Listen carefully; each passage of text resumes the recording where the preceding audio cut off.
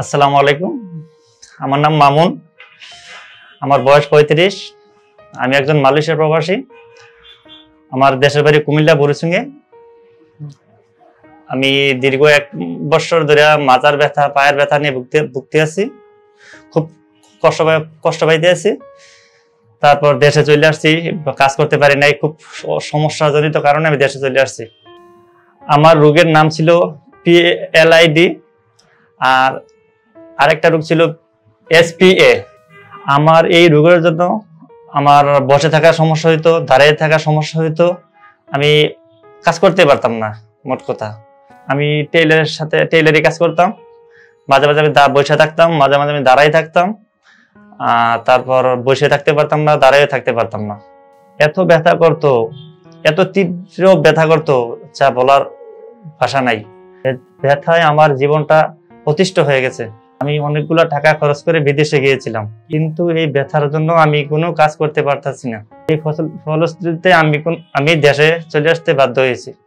আমি আমার ফ্যামিলির একমাত্র উপার্জন ব্যক্তি। অনেক আশা ভরসা নিয়ে আমি বাইরে গেছিলাম। এই সমস্যার কারণে আমি বাইরে থাকতে পারি নাই। আমি দেশে চলে যেতে হয়েছে। ঘুমাইতে গেলে ব্যথা হইতো, মাজার মেথে পায়ের মেঝে।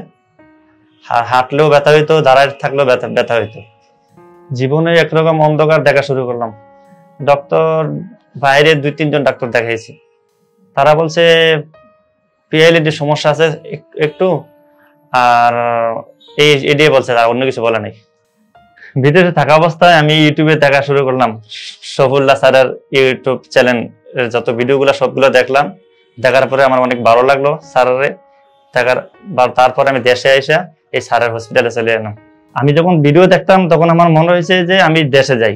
দেশে গিয়ে আমি সফিউল্লাহ স্যারের সাথে দেখা করি, মনে হয়েছে যে।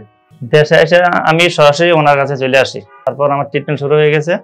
আলহামদুলিল্লাহ, আমি ট্রিটমেন্ট নেওয়ার পরে, আমি আজকে বারো দিন পর ইনশাল্লাহ আমি মোটামুটি সুস্থ, আলহামদুলিল্লাহ। আমার এই অনেক, অনেকাংশ কোমরের ব্যথা, পায়ের ব্যথা, এখন আর অনেকাংশেই নাই। আমার যে থেরাপি দিয়েছে এরপরে নার্স এবার সবগুলা স্যার প্রধান, এদের আন্তরিক ভালোবাসায় আমি ইনশাল্লাহ সুস্থ হয়েছি। আপনারা সবাই দোয়া করবেন আমার জন্য, আমি যেন সুস্থ থাকতে পারি। আপনাদের মধ্যে যদি কোনো এরকম সমস্যা থাকেন, এরকম ব্যথা থাকে, আপনার নিশ্চিন্তায় এখানে আসতে পারেন, টিপিআরসি হসপিটালে। যেহেতু আমি সুস্থ হয়েছি, আমি আশা করি আপনারাও সুস্থ হবেন। আমরা জানি আপনার প্রিয়জন আপনার জন্য কতটা গুরুত্ব বহন করে। প্রপার ডায়াগনোসিস কনসালটেশন পেইন ও প্যারালাইসিস চিকিৎসা পুনর্বাসন আমাদের সব আয়োজনই সব সময় আপনাদের জন্য চব্বিশ ঘণ্টা খোলা। আমরা চাই না আপনারা বারবার আমাদের কাছে ফিরে আসুন তবুও আমরা আছি সব সময় সর্বদা আপনাদের পাশেই।